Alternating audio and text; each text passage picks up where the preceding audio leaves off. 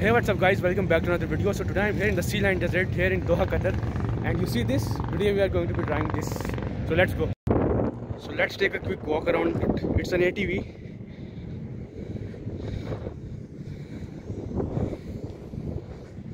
so let's go